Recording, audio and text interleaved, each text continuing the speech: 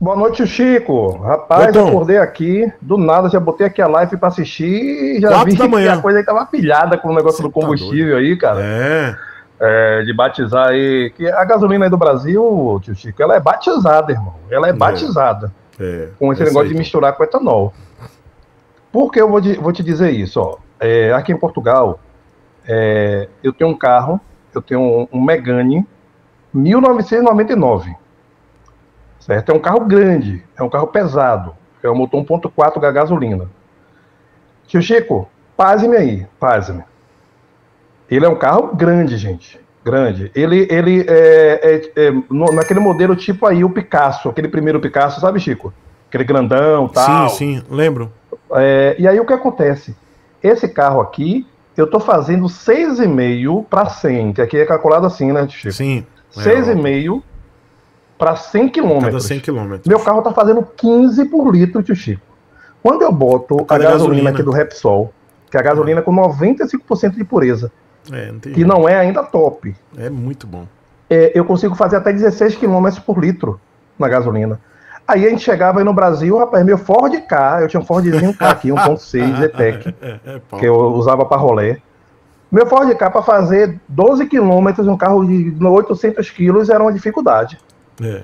Então, gente, pelo amor de Deus, isso tem que acabar aí, rapaz. Etanol, etanol, gasolina, gasolina. Por isso que os motores aí no, no Brasil não aguentam. Não aguento. Você vai olhar o nível de corrosão né, das peças, porque o etanol é etanol, é outra coisa. Devia ser um motor só para etanol, como existia, né, Chico? Isso Né, você é de minha época aí, eu sou de 79. Então, os motores a etanol é uma coisa, motor a gasolina é outra coisa, porque o, o- é, a corrosão do combustível né, é totalmente diferente. E aí a gente vem lembrando também do que aconteceu com a Royal Enfield, né, por causa de- do, do, do- nosso combustível, é, nosso combustível, é, e aí os defeitos que dava aí na Himalaia. Então, só queria deixar esse relato aí, tio Chico. Um abraço, tô aqui de olho, hein? Tô aqui ouvindo a live.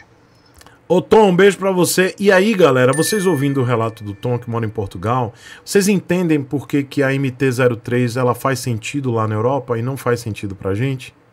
Vocês entendem? A MT-03 é um projeto para a Europa. Não é um projeto para o Brasil. Então, quando essa moto ela vem para cá, ela não tem uma eficiência energética boa. Lá na Europa, ela faz sentido porque é uma moto barata e é uma moto que lá ela tem um bom consumo até. Por quê? Porque a gasolina lá tem maior octanagem. A gasolina lá, ela rende melhor. Quando vem aqui para o Brasil, ela não consegue ter o mesmo rendimento. A Yamaha ela não consegue fazer uma estequiometria que, com, que a MT-03 consiga fazer o mesmo consumo. Por quê? Porque a gasolina daqui não é boa. Porque tem a bosta do etanol misturado. Quando você vai lá para a Europa, o MT-03 que aqui faz no máximo 20, lá ela faz normal, como uma moto que a gente espera. Uma moto de 42 cavalos que tem uma potência boa, ela vai fazer 25. Talvez até mais. Porque a gasolina é boa. Mais um motivo que a MT-03 ela não faz sentido aqui pra gente. E ela não é um projeto pra cá. É uma moto que não funciona aqui. Pra quem insiste, é uma moto boa, já disse pra quem quer fazer rolezinho. Mas lá na Europa, ela até funciona pro cara que quer ir todo dia pro trabalho, tal, beleza. Tá? Sendo que lá na Europa a galera usa MT-07, tá, para trabalhar. Somente na Inglaterra a galera faz o delivery de MT-07. Mas aqui no Brasil, a MT-03, se, se a gente tivesse uma gasolina boa, ela até poderia fazer sentido.